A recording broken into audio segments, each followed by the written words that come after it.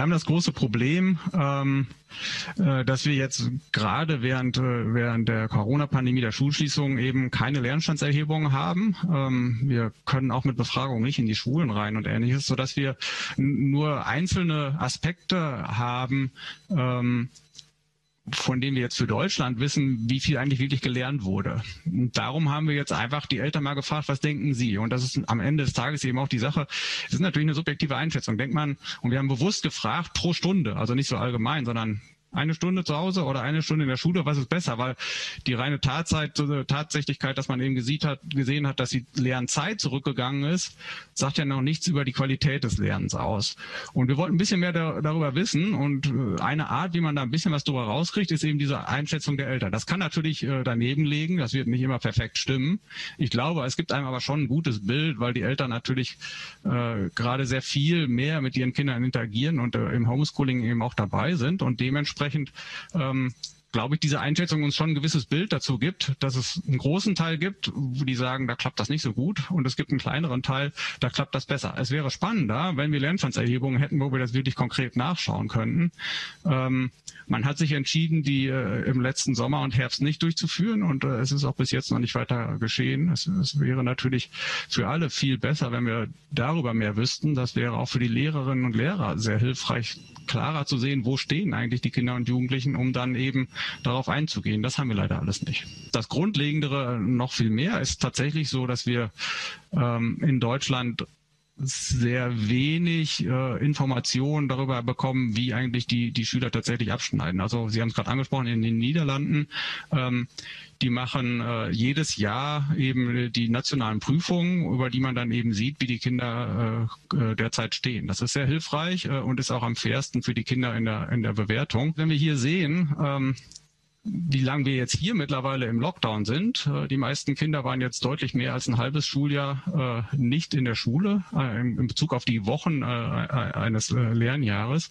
Ähm, dann ist das natürlich verheerend, weil man dort sieht eben, ähm, man lernt zu Hause wirklich viel, viel weniger.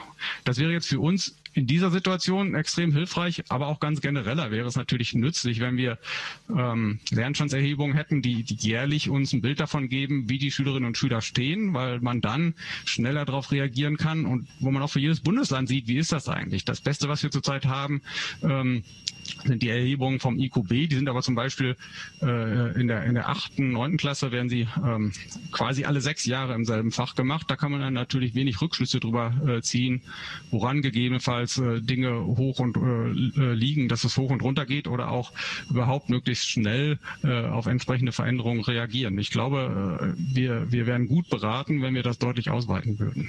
Beim Lernen ist es eben auch so, dass Stillstand Rückschritt bedeuten kann. Ne? Wenn man wenn man gar nichts macht, dann vergisst man die Sachen. Lehrer wissen das. Nach den Sommerferien ähm, sind die Kinder zurückgekommen und man fängt nicht da an, wo man vorher aufgehört hat, sondern viel weiter zurück, sondern muss das alles nochmal neu äh, erklären. Das ist jetzt besonders stark gewesen und das ist dann eben auch dort so. Das ist so, dass es Kinder gibt, die eben nicht nur keinen Lernzuwachs hatten, sondern deutlich zurückgegangen ist. Und dann gibt es andere, die haben schon dazu gelernt. Im Durchschnitt sieht man bei dieser Null. Was man in, in den Niederlanden sehr stark gesehen hat, sind Unterschiede nach dem äh, Bildungshintergrund, sozioökonomischen Hintergrund der Familien.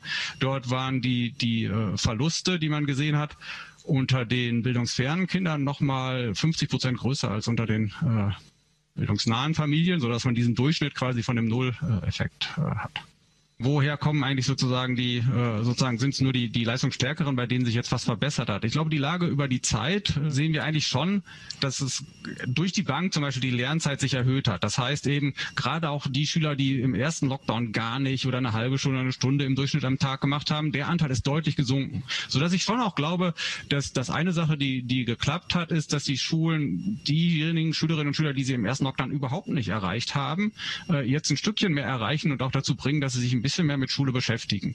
So dass ich glaube, das ist schon, geht so mehr durch die, durch die Bank. Ähm, gut, wie man das Ganze jetzt äh, insgesamt einschätzt, ähm, das, das liegt immer im Auge des Betrachters. Ich glaube, das, das kann jeder äh, interpretieren, äh, wie er die Dinge sieht. Äh, wenn ich meine persönliche Interpretation dazu gebe, dann sehe ich das insgesamt schon als eher enttäuschend an. Ähm, es ist natürlich eine Verbesserung, die ist klar zu sehen.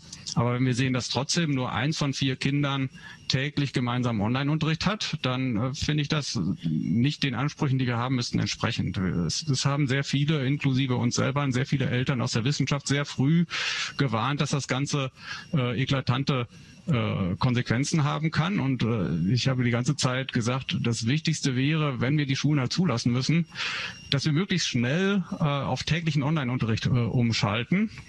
Und wenn wir jetzt sehen, dass bei 40 Prozent der Kinder, 39 Prozent, äh, das höchstens einmal pro Woche, die irgendwie eine gemeinsame Sitzung haben, äh, finde ich das jetzt nicht gerade berauschend, muss ich zugeben. Äh, insofern ähm,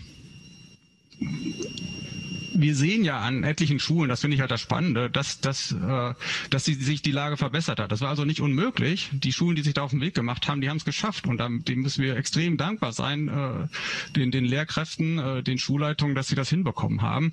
Aber eigentlich wäre es eine politische Aufgabe, dass wir doch den Anspruch haben müssen, dass das für alle Kinder und Jugendlichen der Fall ist. Und dafür sind wir leider immer noch sehr weit weg.